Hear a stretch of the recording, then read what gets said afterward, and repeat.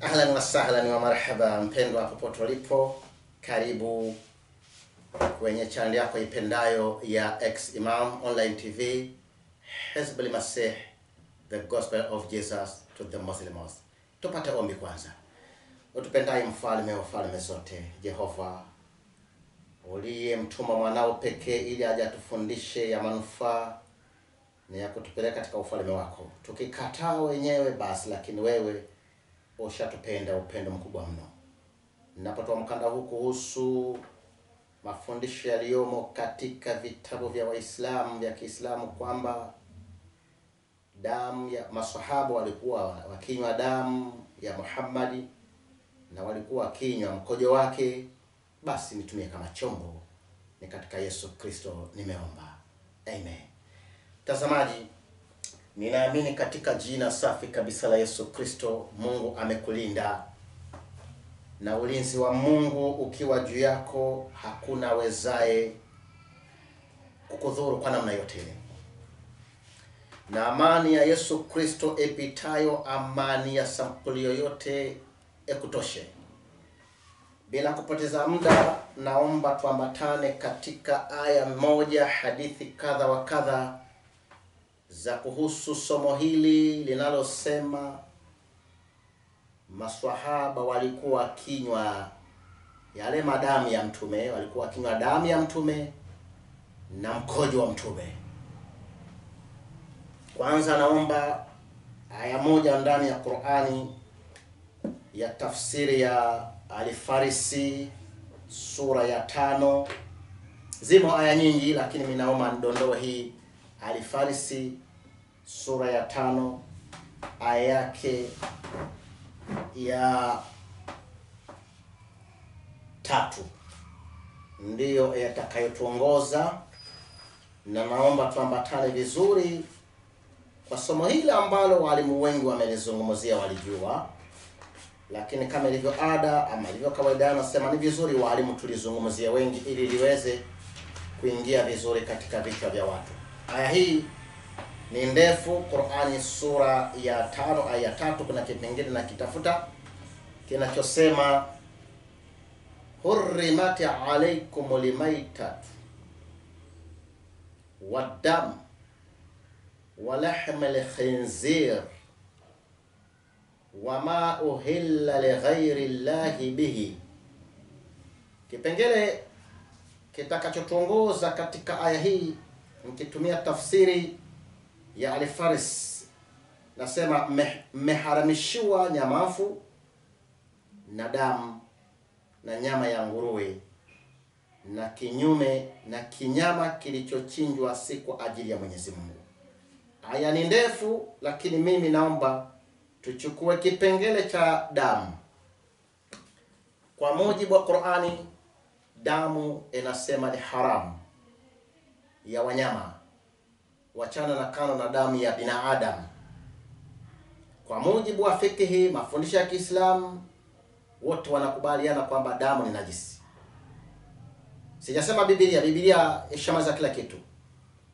Fikihi, hadithi zote zinasema mkojo ama makojo ni najisi. Sasa kama ilivyo ada, naomba tufatane katika hadithi nitakazozinukuu taratibu tu kwa somo hili, kisha nikwambie madhara yake na faida yake. Hadithi ya kwanza itakuwa na kuelekeza, unaweza ukainukuu ama ukaitafuta kwenye mtandao ama kwenye kitabu, lakini wacha ninukuu maneno yaliyoko katika hivyo vitabu. Vitabu vyenyewe ambavyo nitavitumia, naomba uvizingatie vitabu hivi nitakavyonukuu hizi hadithi. Kitabu cha kwanza ni Abi Asim ibn Abi Asim ama Asam, hadithi nambari katika vile ahadi walimathani, hadithi nambari 414 vile ahadi walimathani hadithi nambari 100 amini 414. Kitabu chengine nitakachochungulia ni Bazari katika musnadi yake hadithi nambari 169 hadithi nambari 169 katika musnad wa Bazar, na katika imamu al-Hakim katika musnadi yake nitanukuu hadithi katika Hakim nitanukuu hadithi 638 na Bahaqiyu katika sunani yake Sunan al-Kubra, huyo Bahaqiyu wal-Bahaqiyu fi Sunani Lkubra, ntanukuu hadithi nambari sitini na saba.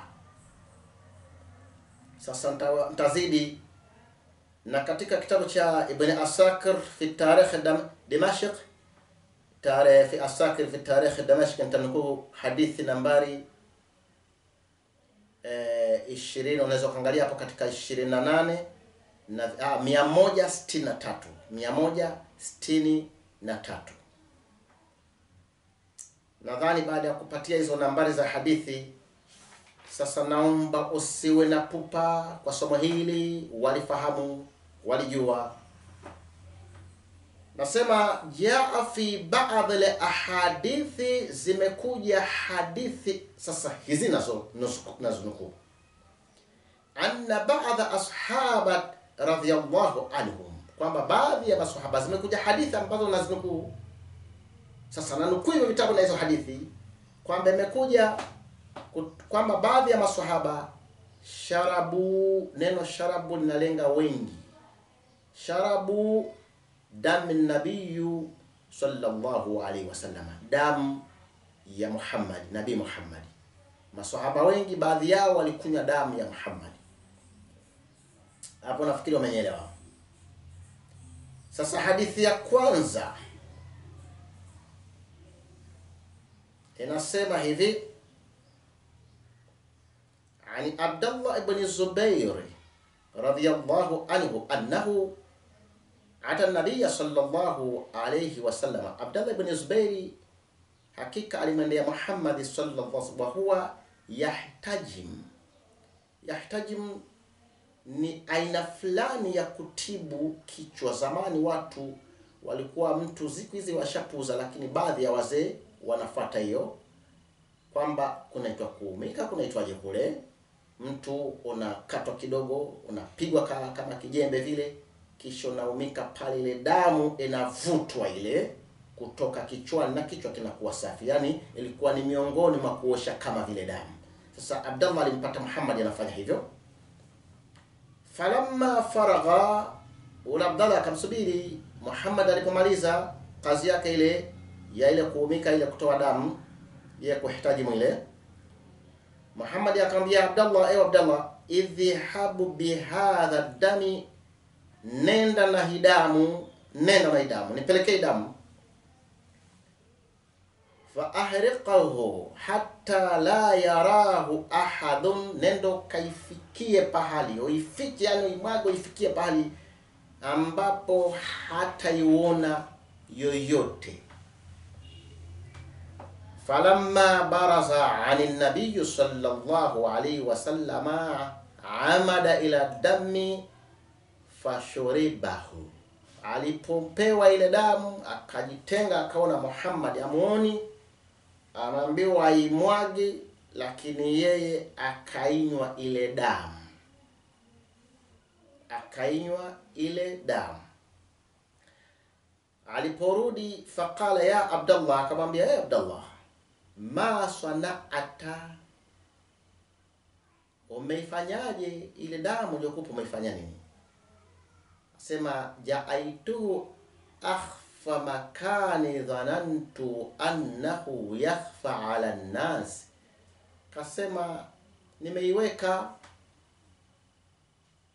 mahala ambapo pamejificha, mahala pazito, yani mahala ambapo kwamba pamejificha. Nimenadhani hapa mahala nimeiweka, ah, watu hawawezi wakapaona, mahala pamejificha sana. Hiyo damu nimeiweka pale ambapo ah, watu nadhani hawawezi wakaiona kabisa.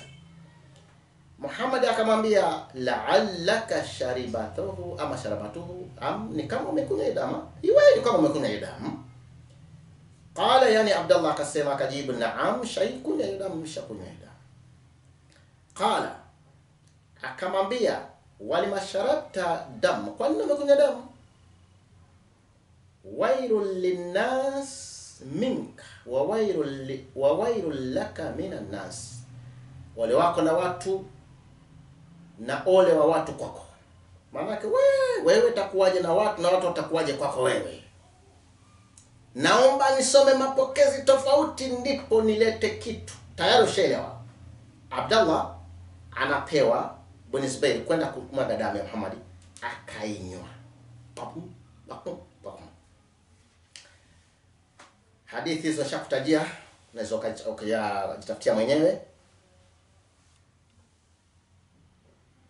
hadithi nyingine ambayo nataka tuiangalie.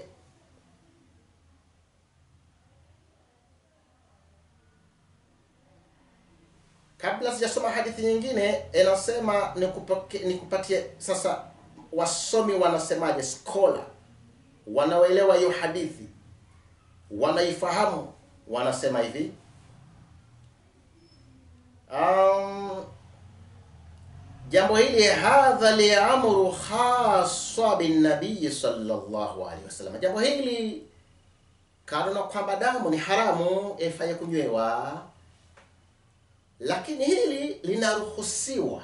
Kunywa damu ya Muhammadi linasu kwa Muhammadi liko sawa, haswa liko sawa kwa Muhammadi, si kwa mtu mwingine.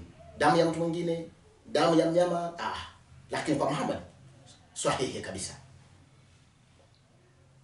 فقد ذكر زكريا لأنصاري الشافعي رحمه الله أن من خصوصيات خصوصيات النبي صلى الله عليه وسلم kwamba ametaja huyo ni mkuu kwamba jambo hili la kunywa damu ni kwa Muhammad tu, yani ni damu ya Muhammad hiyo, hatuna mjadala. Damu ni najisi, wanyama damu ni najisi, lakini mtu kwa sababu Zubair alikunywa, hamna tatizo. Ndo pale kipengele kinakuja, sharabu walikunywa masaba. Kwa hivyo maulama wanasema "Ah, ina tatizo hilo kwa Muhammad, damu nyingine ah, lakini kwa Muhammad is- isahihi wabao Ah, hiyo nitaisoma baadaye. Katika mapokezi mengine yanasema maana katika maulama wa mapokezi wa hadithi, naomba mtazamaji unielewe, baadhi ya wapokezi wana tabia ya kuzifupisha, kuzikata zile hadithi hazimalizike chini vipengele. Mathalan, ukisoma kitabu cha Bukhari, hadithi zozote unazosoma ndani ya Bukhari, asilimia kadhaa huwa amezikata. Sasa usije ukatosheka ukasoma Bukhari ukasema umezielewa hadithi, huenda ukaipata hiyo hiyo hadithi katika kitabu chengine kwa urefu. Bukhari kaikata ama mtu mwingine kaikata. Mapokezi mengine Muhammad akamwambia kwamba umekunywa hiyo damu, basi hakika utume umeingia tumboni mwako, yaani kwa kunywa damu yangu mimi utume umepenya, umebeba utume, yaani una utume ndani yako. Mapokezi mengine anasema akamwambia, akamshika akamshika, wacha nikusomee hadithi Aha, wacha niisomee hadithi kwanza. Mapokezi wa fi riwayat, na katika mapokezi mengine yanasema la tamassaka nar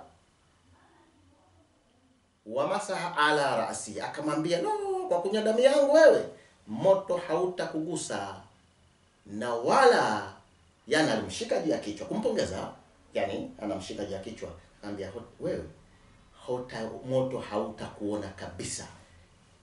Sasa kwa sampuli hii i Abdallah bin Zubair anaambiwa ah, kumbe ukinywa damu ya mtume unakuwa mbali na nini na moto, tena dalili utume unaingia humo ndani. Unadhani maswahaba hawakutamani kuwa na utume ndani?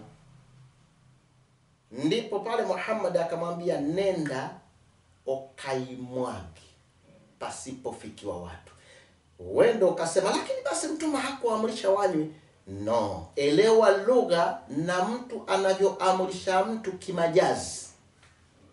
Kama mtume angewakataza wasinywe kabisa, najisi kabisa, hangemsifia huyo mwenye kuinywa, hangemwambia wewe utume umeingia humo ndani, angemwambia wewe hutapata moto, hutachomwa. Angemkemea kwa namna mbovu kiasi cha kwamba mpaka yule swahaba angefika pahala pa kujilaumu, lakini hakika Muhammadi hakumkemea. Hmm. Nafikiri kipengele cha damu umenielewa, na kabla sijakwenda kipengele cha makojo ama mkojo, Wakristo wanaona wanatizama na Waislamu, lakini Wakusa wana tatizo Waislamu. Jambo hili la huyo swahaba mkubwa na maswahaba wengine kunywa damu ya mtume, na maulama wakasema kwa damu ya mtume kunyewa, hilo halina tatizo, ni sahihi. Laiti lingekuwa kwetu sisi wa Kristo papatikane kipengele cha aya yoyote ndani ya Biblia, mimi sizungumzie Musa, nazungumzia lipatikane neno katika Agano Jipya, katika barua za Paulo na mitume wengine, kwamba wapo watu walikunywa damu ya Paulo ai, Paulo alikuwa ama ya Yesu ama ya nani, na kwambieni nyinyi Waislamu munge, yani nadhani hatungelala, hatungelala maana tunaitwa tungeitwa mava, vampire, sema hao ni mavampire, tungeitwa hivyo. Nasikia siku moja nikiwa kwa mkutano, mwalimu mmoja katika kejeli zao anasema, mnasema kwamba damu ya Yesu inatosha kuwasafisha dhambi, ina maana ninyi mavampire. Aa, damu ya Yesu hatunywi hapa. Maswahaba wanakunywa, maulama wanasema ni sahihi kunywa damu ya nani? Ya mtume. Sasa ukitema sisi tunaweza kama vampire, hilo hilo lipindue kwa upande ule wa pili. Leo hili jambo mnaona la mzaha tu, damu ya Muhammad inywewe damu ya Yesu na uthamani mkubwa, tungeambiwa tunywe, haikuthubutiwa kunywewa. Maswa, ya leo tukuangalia hata ule mnyama aliyechinjwa kule bustani ya Eden, damu haikunyewa. maana sisi Biblia ishatuambia damu ni najisi, mpaka nasitwambia tusile nyama na damu. Maana ukitaka kula nyama hakikisha ile damu hamna, umeitoa kwa namna inayostahiki. Lakini hili la lenu halionekani, mnaliona ni jepesi. Wakristo, msipoamka tuweze ku, ku, ku, kuwafundisha hawa watu ambao kila siku wanasilimishwa na wanasema tumeingia katika dini ya haki, na wanasomewa aya za Qur'an kila kukicha, inna dina inda Allahi lislam, hakika dini ya haki ama dini ya kweli mbele ya Allah ni Uislamu. Na hayo hayo ya watu kunya damu ya Muhammad hayafichwi. Mimi huwa mtu akisilimu huwa anamwangalia, kasema kweli pana kazi. Ah, twende katika hadithi ya makojoo ya Mtume. Sema wakad jaa alhadithi min tariq Abi Malik, imekuja hadithi moja kwa njia ya Abi Malik ibn Qais, anasema annahaiyu an al-Aswad ibn Qais an Nubaykh Laghaziyu an ummi Aymana qalat, wote hawa wanasema kufika kwa amma, anasema. Sikiza hadithi ya makojoo ya Mtume qalat ummi Aymana kama Rasulullahi sallallahu alaihi wasallam min al-laili, alisimama Muhammad usiku. Qala min al-laili fakharat fi janibi libaiti fabala fiha, akasimama alisimama, yani kwa ufupi Muhammad usiku kojoa janibi ka, upande wa nyumba. akakojoa, fabala fiha, akakojoa, yani maanake upande wa nyumba palikuwa na ki, kiji kichombo fulani Muhammad akakojoa. Faqumtu min al-laili, Muhammad baada ya kukojoa, faqumtu. Yani hapa kuna mambo mengine Muhammad, kwani hakutoka nje. Mimi sipendi kuzungumza na kufundisha kikejeli, lakini tumia akili. Hata Muislamu anasimama Muhammad anakojoa hapo kando ya nyumba, faqumtu alipomaliza kukojoa anasema faqumtu min allaili huyo sasa mpokeza anasema nikasimama usiku wa ana atashana tu na mimi nilipoamka nikuwa najihisi kiu. Fashar fasharabtu fasharabtu nikanywa yale makojo ya Muhammad. Nikanywa makojo uliokuwa katika chombo. Wa ana la ashuru na mimi nilikuwa sina habari falamma asbaha an-nabiy sallallahu alaihi wasallam alipoamka Muhammadi ulipopambazuka Muhammadi qala akamwambia Muhammad ya ummi Ayman. Ewe mama yake Ayman.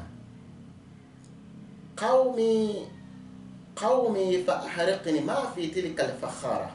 Sasa namuulizia kile chombo alipokojoa akamwambia yule kuntu umme Ayman. Akamwambia qad wallahu sharabtu ma fiha. Akamwambia ah ya Rasulullah nimekunywa. Yaliyomo ndani yalikuwa humo ndani. Nimeyanywa.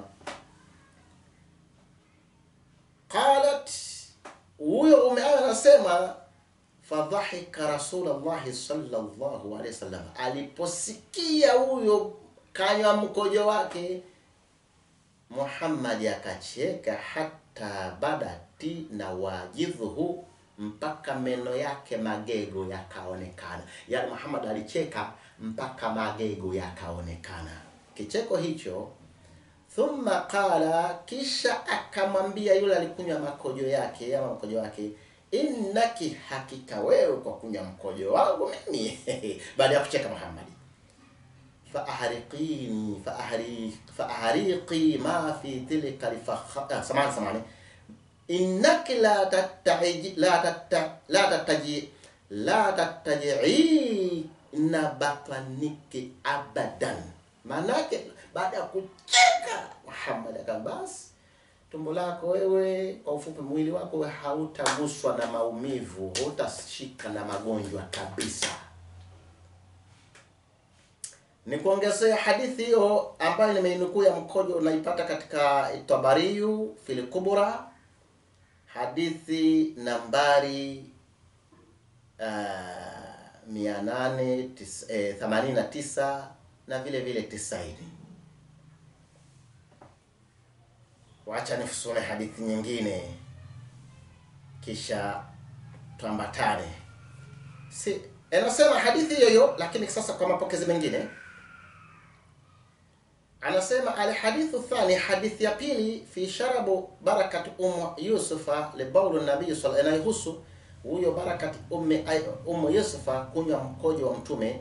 Wakad jaa fi min tariq ibn Jurayj, hadithi hii sasa imekuja katika njia ya Jureji. Hadathani, amenihadithia Hukaimata binti Umayna Umaymata binti Ruqay eh, binti Ruqayqata an ummiha, kutoka mamake qalat kasema kana nabii sallallahu alaihi wasallam yabulu fi qadhi idani thumma yarfa'u tahta saririhi Muhammad alikuwa yu ana kiji sehemu yani kiji kiji chombo chake cha kukojolea ndani. Hey, chombo. Najua mtazamaji hata kama unazijua hizi hadithi lo sijui mkunja uso sijui tabasamu lakini sijui hali yako. Anasema Muhammad alikuwa na chombo chake cha kukojolea, alikuwa thumma uh, thumma yarfa'u tahta saririhi fabala fihi thum, alikuwa akikinua na kojoa wakati wa kitanda chake, yani akiwa kwenye kitanda chake anachukua kile chombo anakojoa, kisha anakiweka chini ya kitanda chake. Fabala fihi thumma jaa faaradahu, siku moja alipokuja baada ya kukojoa akaja anakitaka kile chombo faidha liqadahu faidha liqadahu laisa fihi shay'un, lakini akaangalia kile chombo walimokojoa ndani hakuna kitu mo. Faqala limraatu yuqala laha, akamwambia yule mwanamke ambaye alikuwa ni Baraka. Baraka nimemzungumzia, kanat kana takhdumu umma Habibat, ambaye alikuwa ni mtumishi e, mjakazi wa Umme Habibat, jaat biha min ardhi al-Habash, alikuja naye kutoka katika Habash. Unakumbuka pale katika, unajua Uislamu kuna pokazi huyo Umma Habiba katika tarehe alikuja wakati ile alikabe inavunjwa, mean alikabe nitaka kuvunjwa, kama kisa kama umetizama mkanda ule wa ta, historia ya Muhammad hapa, anasemekana alikuja naye kutoka Hadesh. tutaangalia lakini kwa ufupi na kwa maana huyu Barakat alikuwa ni Ethiopia. Hilo tunashukuru kwa hilo.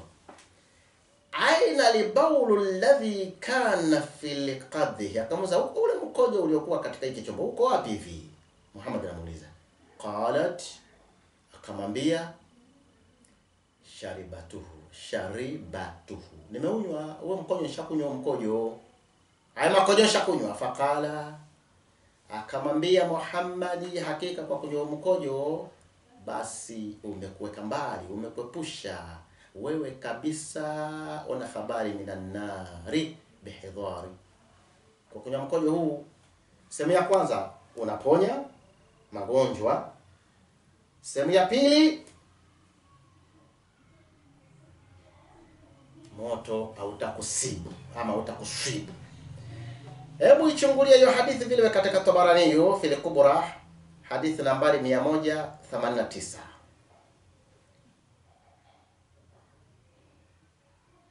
Sasa sijui nimeurefusha sana mkanda, umechoka ndugu yangu, chache nimalizie. Hapa ndipo kuna kitu kinaitwa kitu cha kuzingatia, mkojo wa Mtume. Jameni, jameni, na nyinyi Wakristo mekatu, mnaona mmefanya kazi sana ya kuhubiri. Mnadhani Waislamu ngapi hawajui hivi vitu? Mnadhani havisomwi hivi, havisomwi hivi. Ukitaka kujua havisomwi, maulama wamekuja wanataka kupinga wale waliopokea zile hadithi, wanaanza kusema hapana, jambo hili hadithi dhaifu. Aliyepokea hadithi anasema sahihi, maswahaba wenyewe wamekubali, walifanya. Sasa wamekuja scholars wakona ili litafanya nini, wakaanza kuzifanya zile hadithi kuwa hazifai. Sasa wanatetea hivi, wanasema walam yasahu anna ahadu sharaba baulu na sallallahu kwamba haisi kabisa kwamba Muhammad kuna moja alikunywa mkojo wa mtume. Sasa huyu huyu hata hakuona sahaba, hakumuona yoyote, anapinga yule mpokezi. Kwa nini anapinga? Sasa hiki cha kupinga ndio kinasoma, kile cha kunywa kina kina kinabaki kina kina kinafichwa, ili watu wasijue ukweli. Wenye kutoa ukweli ni watu wenye nuru ambao ni Wakristo. Ndio naona vipo vitu kutoka katika Uislamu kuwa unajua jua mambo machache ama mengi, unawindwa kwa sababu wanajua hivi vitu utavitoa kule inama sana. Sasa hapana bwana, Muhammad afai angefanya nini? Angefaa aweze kunywa mkojo wake mwenyewe. Kwa nini? fi khaliq nabii sallallahu annahu anna, kwa sababu gani? Anasema Allah qul innama ana basharu mithlukum. Hiyo ni sura sura ya sura Al-Kahf aya yake ya mia moja na kumi kwamba hapana, Muhammad ni binadamu tu, mkojo wake ungefaa kunyewa. Ingine anasema inama ana basharu. Sikiza wanavyomtetea kwamba mimi ni, ni, ni, ni. Ah, anasema aha, inama ana basharu mithlukum. Muhammad anawaambia katika hadithi ambayo imepokelewa na Bukhari ha, ha Bukhari hadithi nambari mia tatu tisaini na mbili wanaileta kuziba kile kitendo vile vitendo. Anasema innama ana basharu mithlukum. Muhammad anasema hakika mimi ni binadamu kama nyinyi, ansa na sahao na kuna mwenye kusahau kama tansauna, kama mnavyosahau nyinyi. Fa idha nasitu, nikiwa nitasahau kitu chochote, fadhakaruni fadha fadha fadhakiruni, nikumbusheni nikumbusheni. Hivi pale kumsifia kunywa mkojo pia alikuwa amesahau, baadaye alimkemea no kwa hivyo hakusahau, hakumkemea. Hizi hadithi zinaletwa kumpamba. Hadithi hiyo pia unaweza ukaipata katika Sahihi Muslim, hadithi nambari 572 wale kaulihi innama ana basharu ardha, na katika maneno yake mengine, mapokezi mengine kwa hadithi wanaileta kutaka kuziba ule kweli, eti Muhammad anasema innama ana basharu, mimi ni binadamu. Ardha, naweza nikaridhika nikafurahi, kama yarudha albasharu, kama anavyoridhika binadamu kama anavyofurahia mwanadamu naweza akafurahia. wa aghdhabu kama yaghdhabu libasharu, na nakasirika kama wanavyokasirika kama anavyokasirika mwanadamu. fa ayyuma ahad, sasa sikiliza, sasa moja yoyote miongoni miongoni mwenu ama yeyote yule da'awtu alayki min ummati bi da'wat laysa laka bi ahli, yani yote ambaye nitamwombea sijui nitamlani jambo ambalo si zuri basi ayo maombezi kama atayaomba hivyo ayajala lahu tahura. Basi maombezi hayo kama ni kumlani kumwapiza mimi Muhammad nikimwapiza wakati nimekasirika yale ambayo ni mwapiza kumtukana nini nini basi Mungu ayafanye yale au ni kumsafisha yawe ni sadaka kwake yawe ni wa qurbati biha minhu yaum alqiyama newe ni jambo litakalomkurubisha kupata mema siku ya kiyama Muhammad akikutukana akikupiga akifanya nini sasa Mungu anayabadilisha na kuwa ni baraka.